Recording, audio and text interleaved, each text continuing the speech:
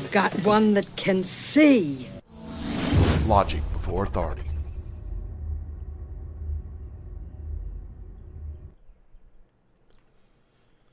Hi guys, this is Daniel Alexander Cannon here on Logic Before Authority. And in this video I'm going to do a very specific, not too long, very specific video about this. What you're looking at are is a a missile, um, well, I say missile, a rocket that was launched uh, off the coast of Virginia in the United States back in the uh, summer of 2020. You know, right after the whole uh, Big P kind of rolled out. Yeah. And it has these on them, and some of you have seen this, okay? It has a, a rider on a white horse with a bow. And uh, on the logo itself, it shows a couple of crowns, as you can see right here. And over here, it's a rider on a red horse with a sword or a weapon, and it's and then you can see some swords uh, right down here as well. I'll show you those a little closer here in a moment. And it says, Our time has come. So a white horse and a red horse, um, very specifically drawn, the white horse with the crown on the head of the white rider and the bow. And then here we go with the red horse, uh, looking like he's going out to conquer and to conquer. Now, what what is this? Okay, well, it's very complicated, but I'm going to keep it short and to the point in this video. Okay, you may have heard me speak about this once before or something, but there are throughout history a lot of zombie movies that have been made. Here they are, and this is not a complete list, but it's a pretty good list probably. Uh, starting out back at, well, the invention of television. And uh, some of the first movies they ever made, period, were zombie movies. And uh, you can go down the list. This is by year, starting back at 1919, 1932, 1934, 36, 39, 40, 41, 42, 43, 43, 43, 43, 44, 45. You know, every year, and sometimes multiples in a year. Keeping this concept in the minds of people awake throughout the entire last century. Am I right? Now, why are people that fascinated with the undead? Okay, well, that's movies. This is uh, zombies in television. These are television uh, things instead of films, uh, television series and shows and so on. And these are uh, a list of about 46 over the years, and this is an incomplete list as well. Um, but, you know, here's more of the same thing. And then we've got zombie video games. Yeah, zombie video games. Seven Days to Die. Uh, Alive Forever. All zombies must die. Alone in the Dark, Area 51, Beast Busters. This is alphabetical and we're in the A's. Going into the B's. Blood Drive, Burn, Zombie Burn, Call of Duty Black Ops Zombie Mode. Most of your video games out there have a zombie mode. And actually, one of you guys informed me of that. Um, so I imagine this is an incomplete list as well, but here we keep going. We're in the C's. Call of Duty, Call of Duty, Call of Duty. Every Call of Duty, it looks like, has a zombie mode. Uh, Call of Duty, Carnival, Carrier, Cataclysm, City of the Dead, Dark Watch, Days Gone, Dead Island, and, and the list I'm just skipping through here. Uh, we're in the D's. Let's see if we can get down a way here. Hunter infected. Infected? Infected with what? What do you reckon?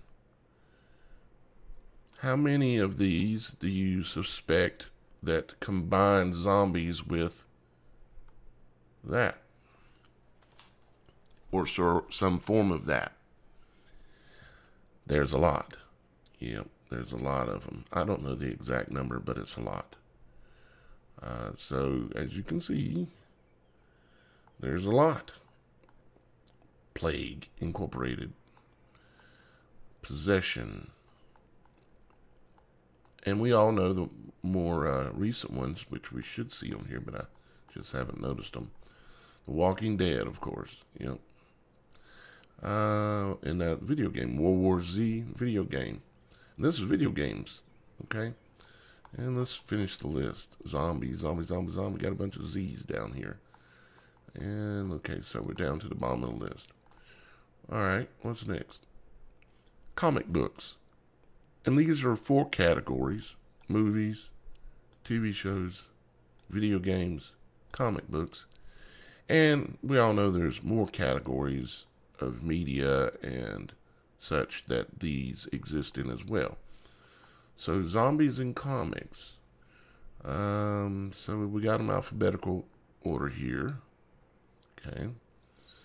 Um, you know, everything you can think of Empire of the Dead, Escape of the Living Dead, Fright Night, uh, Solomon Grundy, um, The Haunt of Fear, Jesus Hates Zombies, Blasphemy, um, Last Blood, List of 30 Days of Night Comics. Here we are over in Z's on this side zombie this, zombie that, zombie everything. The Walking Dead, of course, again in comic books, as well as everything else. And this doesn't even show, for instance, like with like with this, like movies and TV stuff and series. I don't even think this includes series. And how many Walking Dead episodes were there? an enormous amount.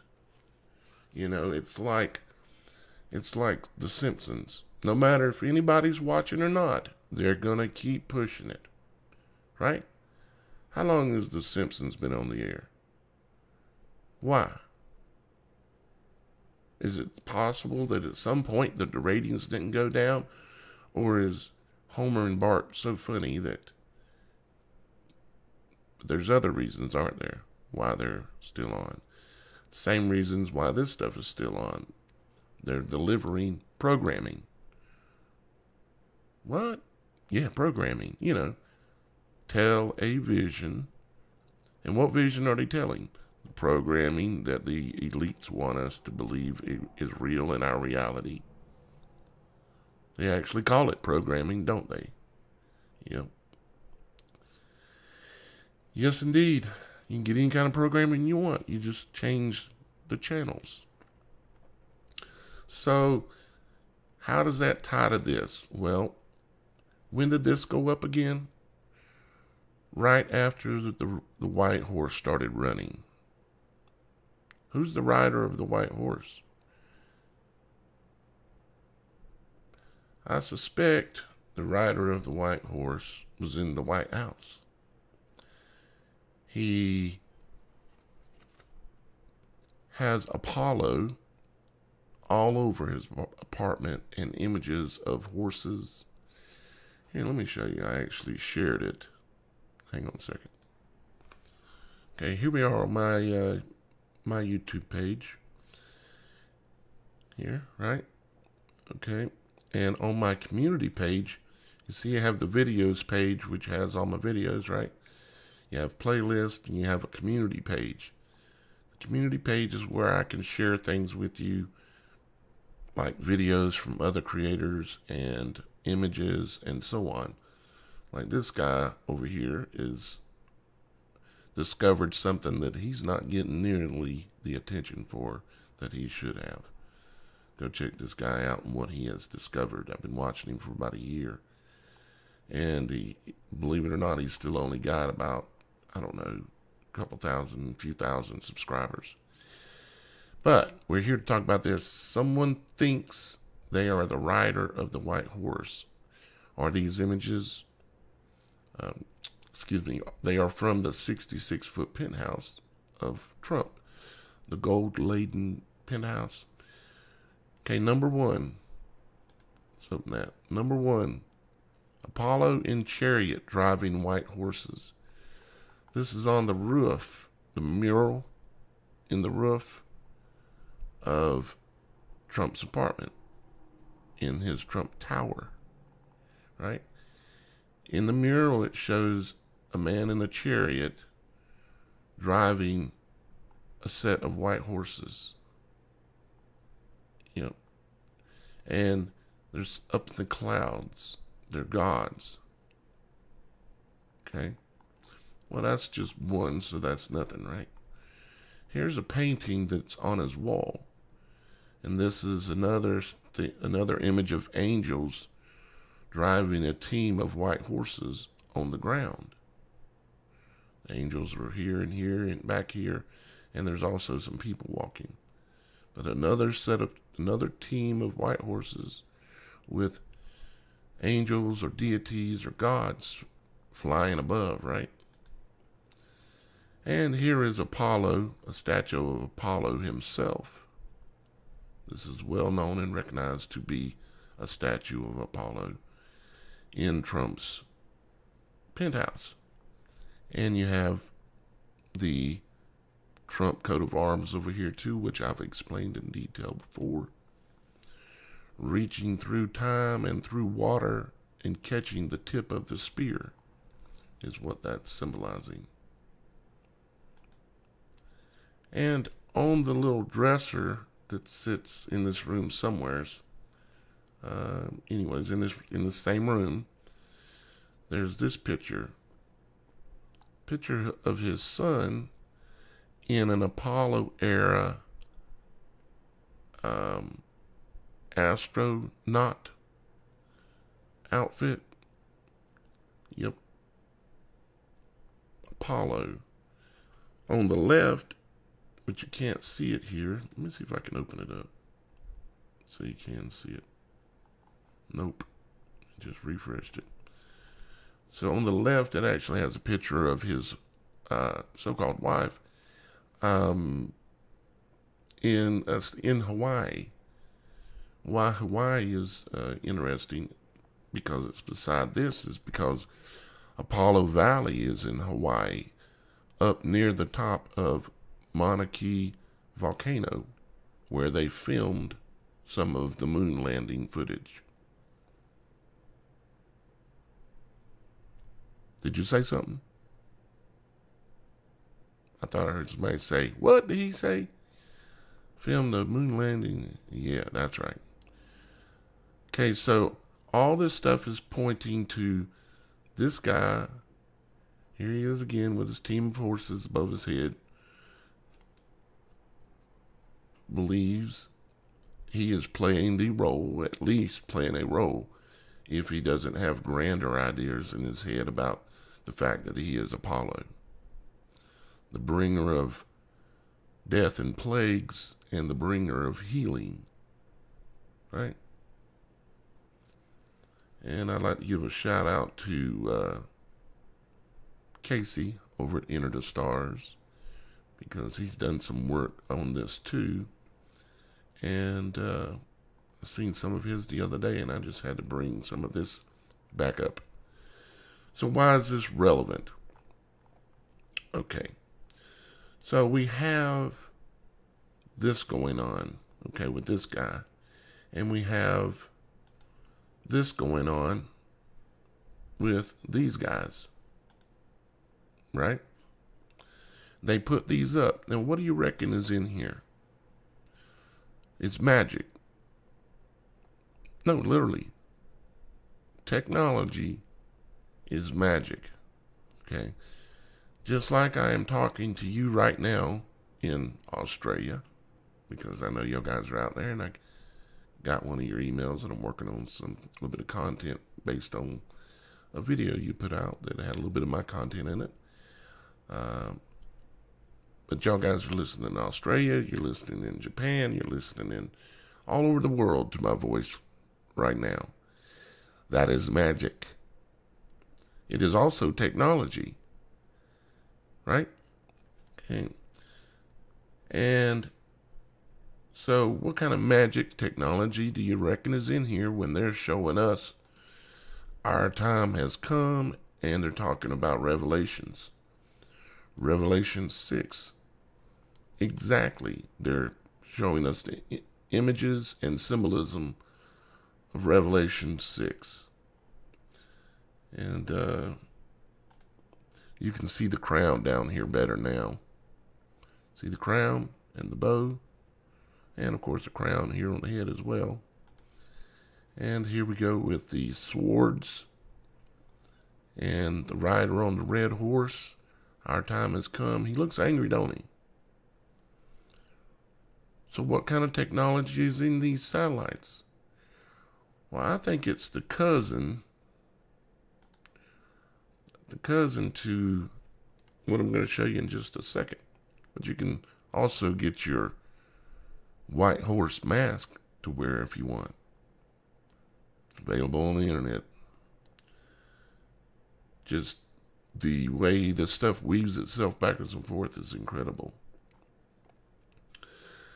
So, what is this? This is SpaceX's Starlink. What? Did I hear somebody say something? Did I hear you think something? Oh, Elon, he's a he's our good guy. He's the big, he's the only billionaire that's on a. Oh, wait a minute, that's two. There's Trump and there's uh, Elon. Those two billionaires that hang out with all the other billionaires uh, are on the good side. They're the white hats, right? They're coming to save us, right? Just like Trump saved us a couple of years ago, right? He was telling us don't take the. Oh, wait, that's not what he said. He said, you got to get your. Didn't he? Didn't he? If you're still confused, you need to wake up. So here's Elon. And of course, Elon is just the, the face of this, just like Trump is the face, or was the face, and will be the face again. Just like I've been telling you for years, even before he left. I told you he'd be back, didn't I? And what's happening? He's coming back. Now, how would I have known that? Hmm. Weird, ain't it? So here's Starlink. All these little white dots are supposedly little satellites magically floating through the air above our heads in the low heavens. And yes, I know they've got it wrapped on a ball here, but uh, let's look at it here. They've got all these things, and they're all moving up and down, and right here is a, a new train that has been launched that has not been up long enough in order for it to separate. When they first launched them, supposedly they're in a long line, and we, some of us, have seen them in the in the heavens coming across. And so they've got some kind of technology, whether whatever it is, they've got technology to hang in the heavens. Now, the last time I showed you this map, to this to this time, something has changed, hasn't it? What's changed? Of course, many of you see it, and you're you have your hand over your mouth because it's freaky. They've got different areas gridded in cubes or hexagram I guess you'd call it, but they're cubes, really. Individual cubes. So if I draw the line from here to here, back up over here, then come back to here, to the corner of the corner, the corner of the cube, and come down. You say, well, that ain't no cube. Do you know what honeycomb looks like? Honeycomb is an actual cube. Bees build, yes, they look like this if you look at one side.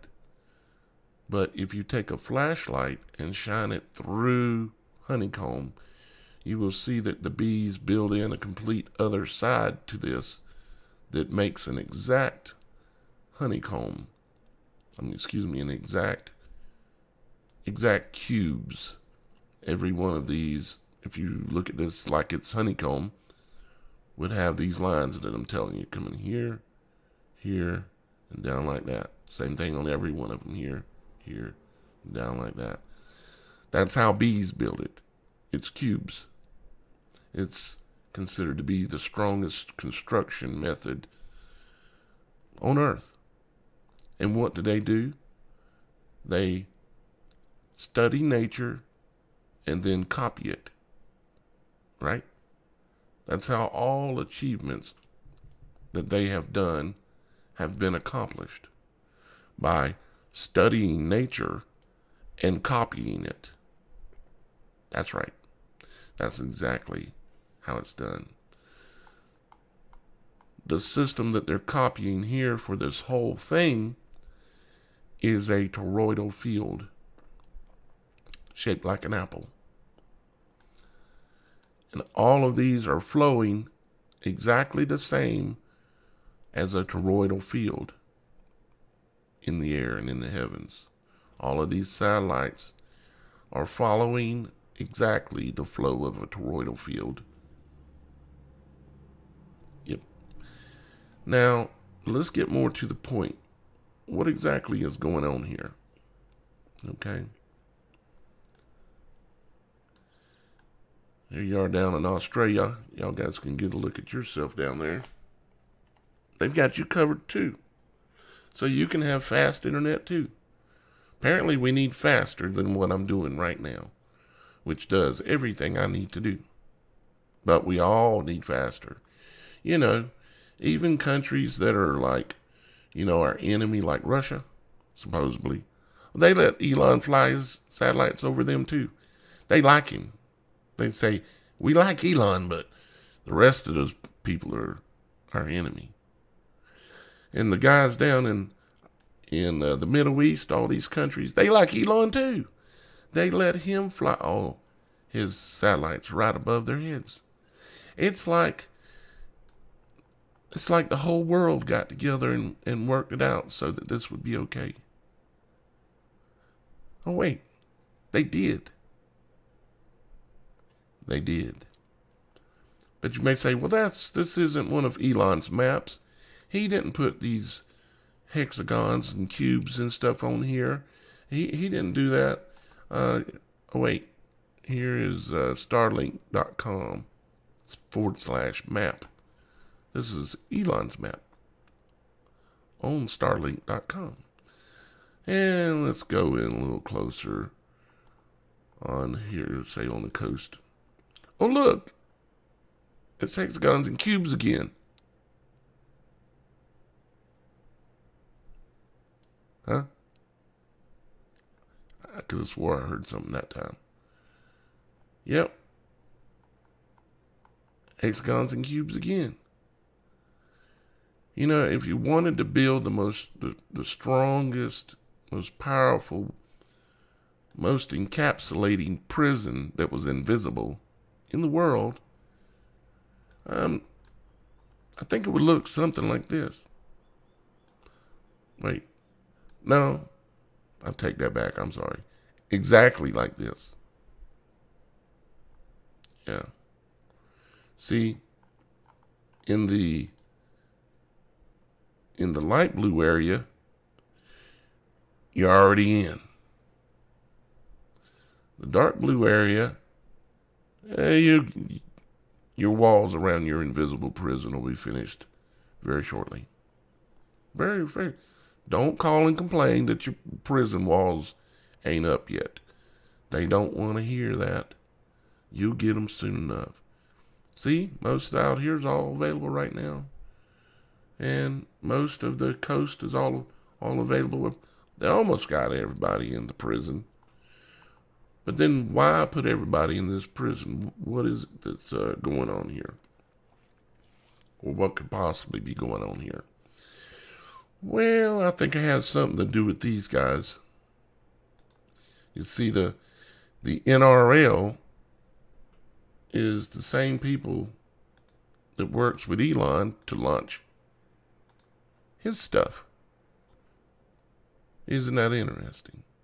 They call it's you know it's the the space force and uh, the uh, national reconnaissance and uh, you know military, but they're putting it up there. Not it's not for military use.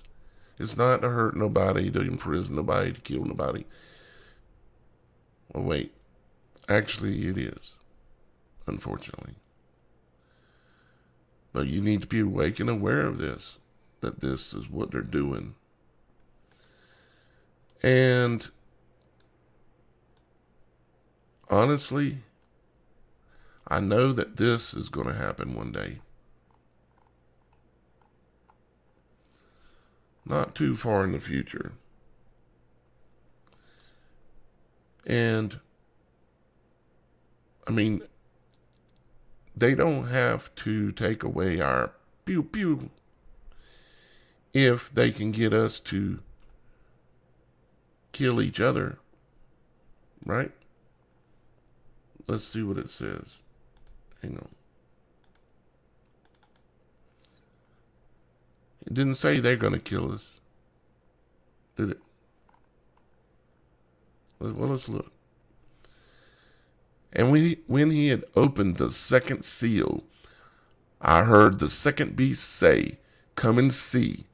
And there went out another horse that was red, and power was given to him that sat, on, sat thereon to take peace from the earth, and that they should kill one another. And there was given to him a great sword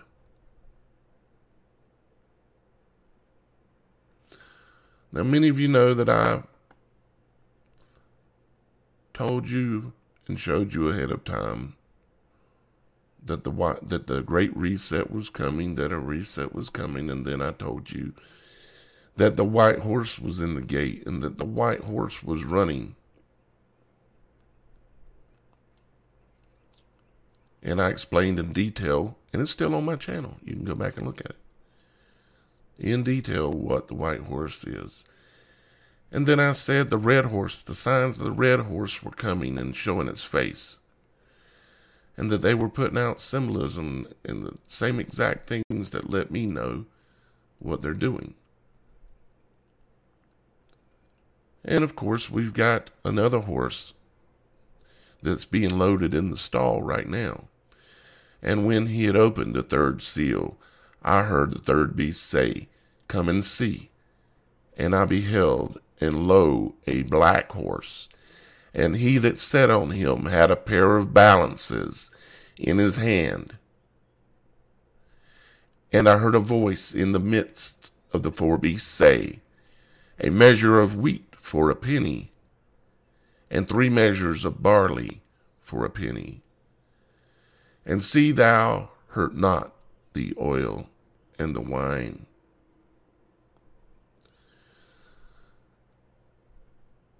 This is talking about food shortages, my people. This is something that most of us can prepare in some way or another. The way that we prepared for the red horse was not participating with the white horse and getting the uh, the arrow shot into your arm from the bow of the rider of the white horse, not getting pierced, a stick, a prick, a scar of servitude. Ring a bell to anyone? And of course, we have another horse that's coming the pale horse. And we'll be talking about him in the coming days, I'm sure. So, I've shown you white horse with a crown and a bow. And this is technology they're shooting into the heavens. Magic. Red horse with this great sword, causing them to kill each other. Meaning the people who bought this and took the arrow in the arm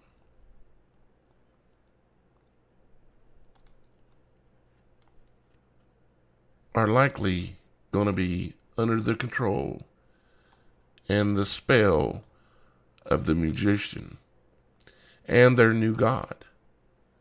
Because once your DNA is altered, and only through the grace of God can that be avoided if you've taken it. And I'd be praying night and day if you made that mistake or got forced into it. But no matter what you do, don't go back and take the software upgrades. You know, the software boosters. Yeah, don't go do that.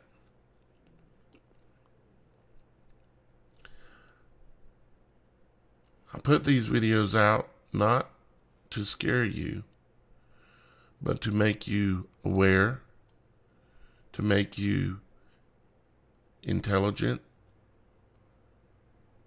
so that maybe you can share this video with other people so that maybe we can save just a few more.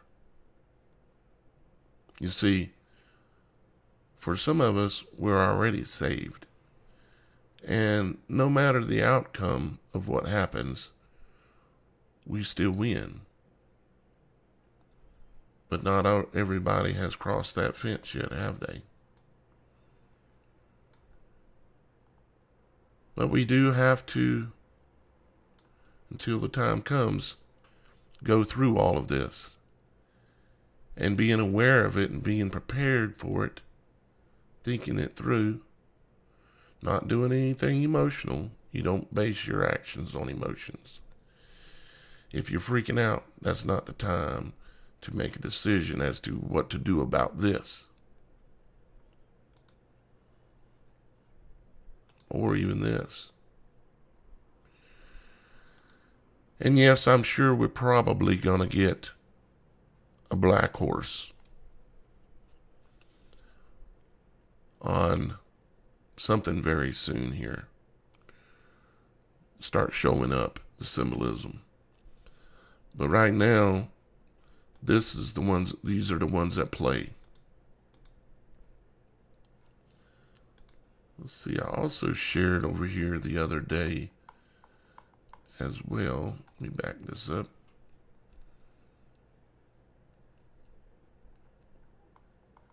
Let's see here.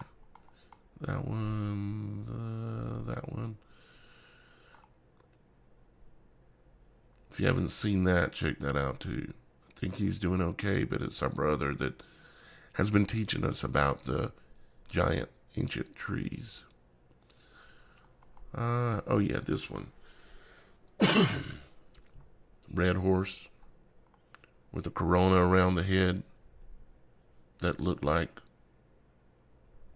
uh, quivers, arrows around the head. Riding the red horse. And then, of course, we had the red horse of the Forever Purge with the American flag on it. And then the red horse that I've been showing you here.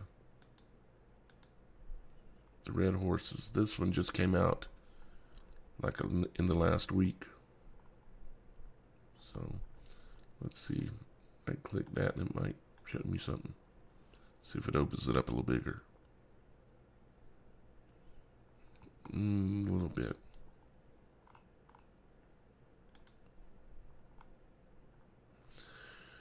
Yep.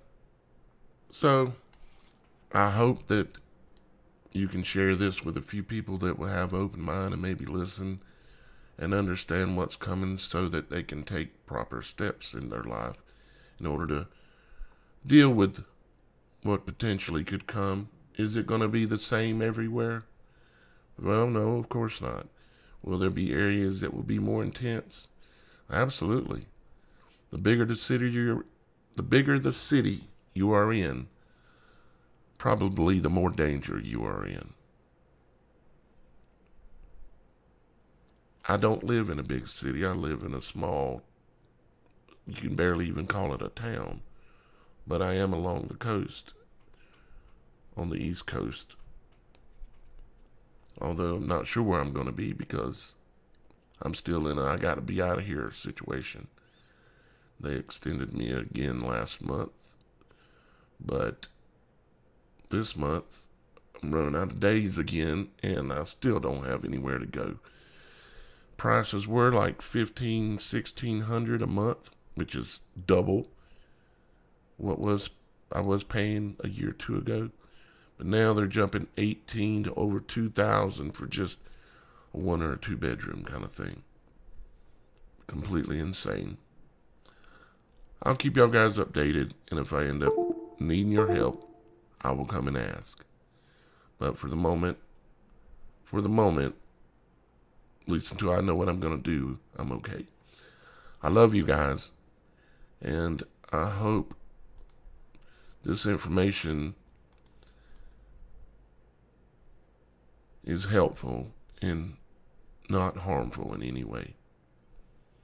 Our Father in heaven loves you, and I'll talk to you again real soon.